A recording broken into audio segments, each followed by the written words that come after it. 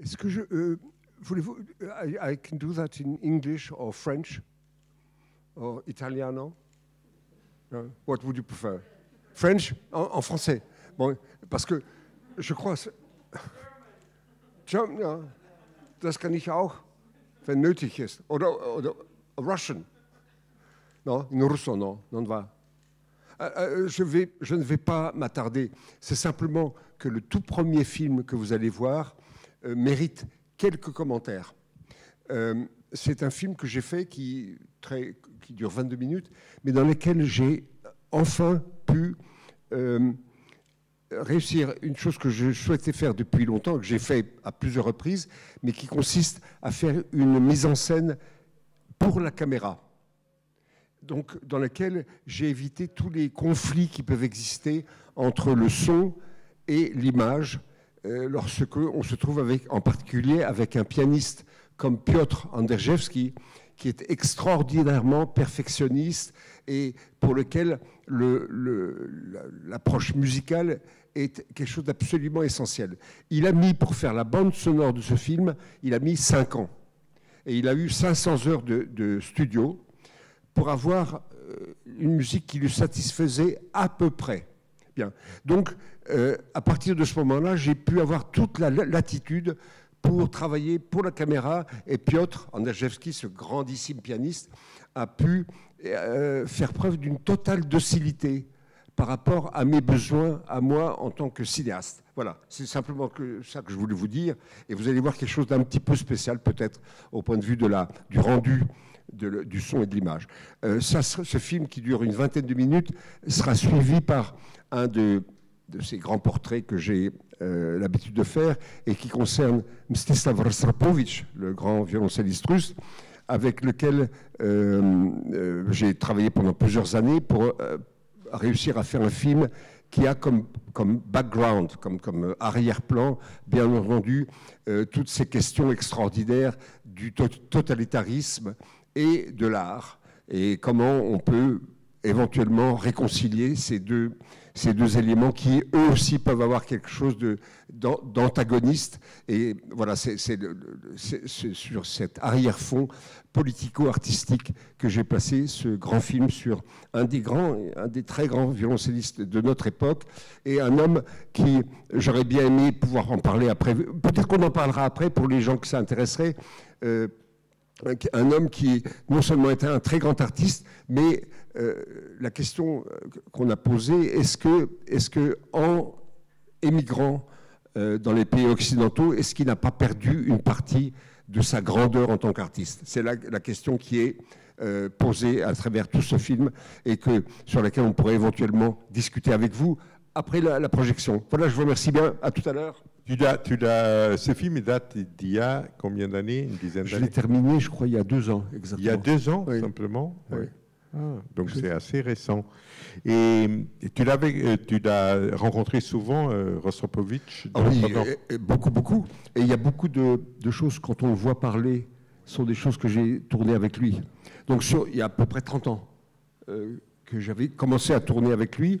et j'ai tourné aussi les, les variations rococo avec lui. Donc il y a beaucoup de choses qui viennent de, de, films que j'ai tournés avec lui, Voilà, qui ont été utilisés par ailleurs, mais que j'ai, euh, en fait, non, que je n'ai pas utilisé par ailleurs. C'est au contraire des choses qui, que je n'ai pas utilisées que j'ai utilisées enregistré pour d'autres euh, voilà. pour d'autres projets voilà. que tu n'as pas. Voilà. Et euh, ça fait partie d'ailleurs de l'ambiguïté du travail que nous avons fait ensemble parce que il y a beaucoup de choses que j'ai tournées avec lui et pour lesquelles il n'a pas été euh, vraiment euh, professionnel. En particulier les variations rococo, qu'on m'avait demandé de tourner avec lui, et j'avais euh, donné quelques conditions, qui étaient qu'il soit à ma disposition entière pendant 12 heures, pour tourner 3 minutes et demie de musique. mais c'était pour moi la condition absolument nécessaire pour faire quelque chose de propre. Bien. Et puis, euh, comme je, m'entendais très bien avec lui, il m'a dit bien sûr, bon, un cher ami, euh, aucun problème. Et puis, en fait, j'avais tourné ce que j'avais, j'avais préparé ce que j'avais dont j'avais préparé le tournage avec une doublure lumière, un violoncelliste qu'on avait pris pour avoir chaque plan était vraiment préparé dans le plus grand détail. Et le jour où on tournait avec lui, il est arrivé avec une, escouade de journalistes, euh, des bouteilles de champagne, des bouteilles de vodka, et euh, ce qui fait que j'ai fait une grave erreur psychologique. Je me, suis dit, devant ce problème de, ce type extraordinaire, mais qui en même temps adorait la, promotion, le journaliste, les médias. D'être en euh, scène. J'ai fait une grave erreur. Je, me suis dit, il faut que je le calme. Et j'ai tourné un plan d'ensemble qui, de toute façon, serait utile. J'ai tourné ces trois minutes et demie de, de, musique avec un seul plan. Voilà. Et quand on a terminé, il m'a dit, mais c'est formidable, on, est, maintenant on peut aller boire de la vodka, on peut aller boire du champagne, on peut, viens, viens. Et puis il m'appelait son fils spirituel, il m'embrassait, tu es mon petit soleil, il m'appelait mon petit soleil. Mais je lui ai dit, on n'a pas encore commencé le travail. Et euh, lorsqu'il a fallu faire les plans de détail, euh, sur lesquels j'avais vraiment beaucoup travaillé, euh, il, devenait de plus en plus. Il prétendait qu'il était arrivé le matin de Tokyo, qu'il partait le lendemain pour euh, Washington, et que j'allais l'épuiser. Mais je lui ai dit écoutez, on a 12, 12 heures de, travail devant nous. Et j'ai dû arrêter à minuit. On, on, avait prévu de travailler de 7 heures du soir à 7 heures du matin, et j'ai dit arrêter à minuit parce que je savais que je. Il était d'abord complètement ivre complètement, mais complètement bourré hein, avec l'alcool. Et donc j'ai dû euh, arrêter ce travail. Et j'ai été très, euh, comment dire, euh, vindicatif. J'ai eu vraiment une dent contre lui parce que je trouve qu'il n'avait pas, il s'était pas comporté de manière sérieuse. Et je me suis aperçu en réalité que plusieurs années plus tard, lorsqu'il m'a demandé de faire un film avec lui, et que j'ai réagi de manière négative, parce que je me suis dit tant qu'il sera vivant, je ne pourrais pas faire quelque chose de sérieux. Je pourrais faire un travail de, journaliste, mais pas, pas, un vrai portrait rentrant en profondeur dans, les, dans les, choses. Et euh, c'est ça qui a fait que j'ai attendu euh, qu'il soit mort et euh, ses filles m'ont dit qu'il il avait été très, très, très mécontent du fait que je n'avais pas euh, accepté de faire ce film. il, était devenu une star internationale. Il était une gigantesque star. Oui, je sais. Et, euh, et c'est la différence avec d'autres musiciens de son époque qu'on voit ici. c'est incroyable. Bon, comme si tu au même temps, ce film, c'est un peu, tu vois, un film sur le XXe siècle. Tu vois, donc un peu, donc tout ce qui s'est passé, toutes les, les, tu vois, les changements, tout ce qui, tu vois au niveau, tu vois, c'est des choses que, qui, pour des gens plus jeunes maintenant, ne comprennent pas ce, que, ce qui était vivre dans cette période de la guerre froide, des choses comme ça. c'est vrai. Et là, c'est devenu quand même un, document incroyable. Et ça, si tu veux, c'est ce que je trouve très, très fort dans le film, tu vois. Mhm. Donc, non seulement le croisement avec tous ces personnages et la façon comme ils ont réagi différemment, tu vois, de, rapport à, tu vois, tout ce qui se passait. Et Russell c'était peut-être le premier dans la musique, avec Ariane, je pense, qui a compris qu'il pouvait devenir une star. Il est devenu une star. Oui, il y, a eu, il y a eu comme ça, il y a eu trois ou quatre musiciens dans le siècle seulement. Il y a eu en premier lieu Menuhin. Oui. En premier lieu Menuhin, mais le, son, son, son, statut de star était tellement gigantesque quand il avait 15 ans. Oui. Bon. Et après, il est devenu presque une, une statue humanitaire. humanitaire. Euh, et Rostropovitch est venu beaucoup plus tard, à un moment où effectivement les médias étaient beaucoup plus actifs, et euh, ce qui fait que lui, avec Karajan, Maria Callas et Menuhin, sont devenus les quatre ou cinq euh, représentants, et puis alors bien entendu Pavarotti et des choses comme ça, mais ça c'est quelque chose de plus superficiel. C'est plus tard, encore plus tard. Mais ils ont représenté, eux, ce que la musique classique a eu de plus, de plus ouvert vers le public. Euh, de manière soit euh, inévitable, qui était le cas de Menuhin, et de manière très volontariste de la part de Slava et de Karajan, certainement. Mais par exemple, est-ce que dans son travail, ça s'est ressenti Qu'est-ce que tu en penses? Eh bien, ça s'est ressenti en ce sens que euh, je n'aurais pas pu le traiter de manière honnête s'il avait été vivant.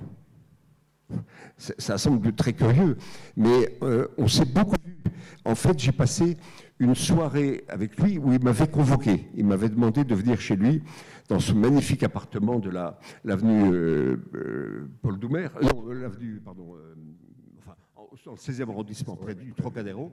Et on a passé une nuit. Il m'avait préparé une, un sac poubelle, un gigantesque sac poubelle, avec des tas de cassettes euh, qui étaient en réalité une série de documents qui avaient été tournés sur lui. Mais c'était des cassettes en VHS, euh, il n'y avait pas, beaucoup de, pas grand-chose à en tirer. Et il avait commencé la soirée en me disant « Je n'ai pas vu ton film ». Et il se référait au film que j'ai tourné sur Sviatoslav Richter. Il m'a dit, je n'ai pas vu ton film, mais là-dedans, il y a des tas de choses qui sont fausses. Hein.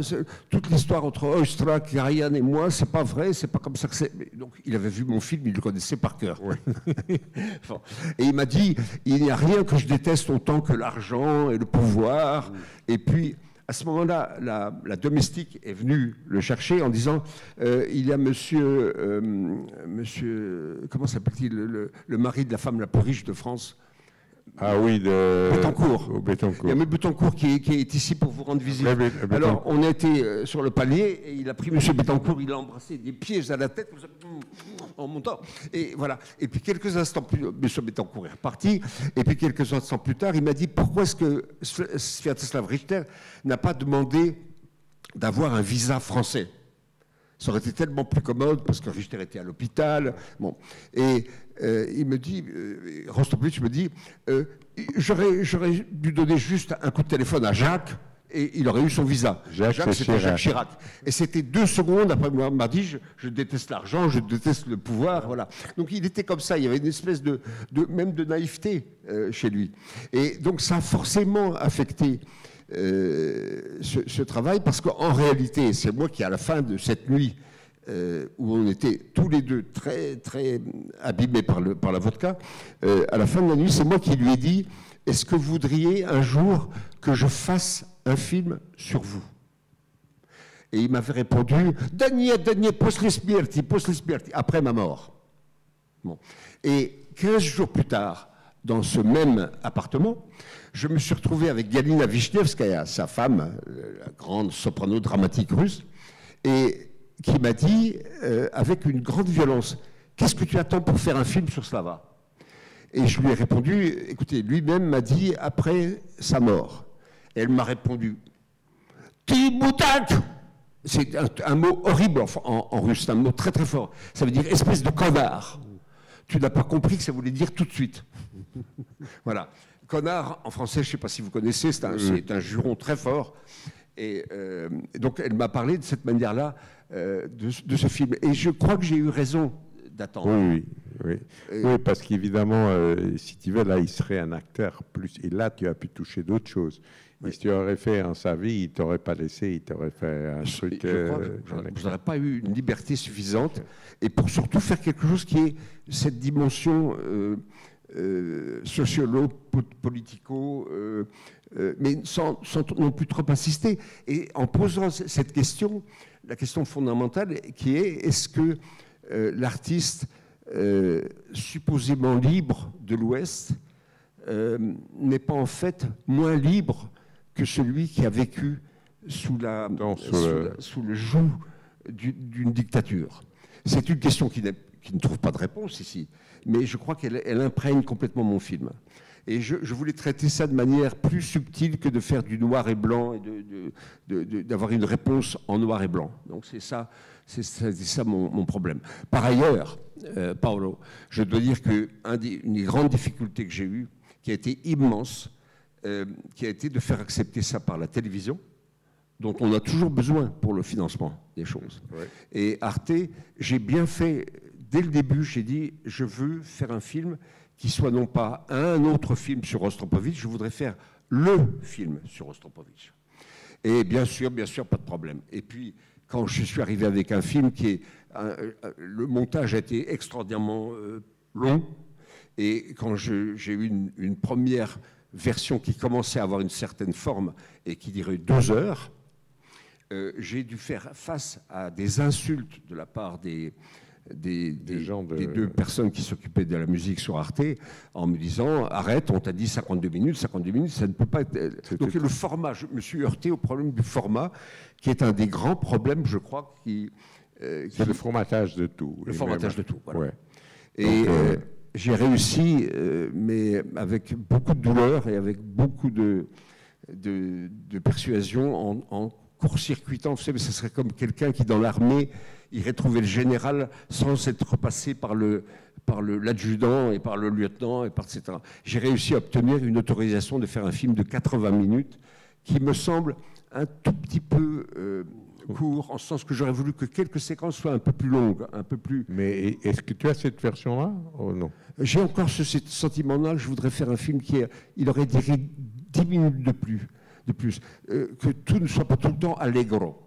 J'aurais voulu qu'il y ait des moments adagio, qu'il y ait des moments un peu. Oui, le problème, c'est qu'à la télé, il exige un rythme que c'est absolument, tu vois, qui détruit très souvent voilà. le, travail qu'on veut faire. Voilà. Par exemple, on a... si, je peux donner un exemple très bref, mais je crois très parlant, il y a un plan là. Au moment où on aura, on aura ôté la, la nationalité, la, la, citoyenneté russe, j'avais un plan de, de Slava qui est là, il ne se passe rien, dans le silence. Et puis au bout de 10 secondes ou 12 secondes, il dit c'est tragique. Bien. Les filles d'Arte m'ont dit allez, accélère. ça, c'est ça que c'est dramatique. C'est monstrueux. C'est monstrueux.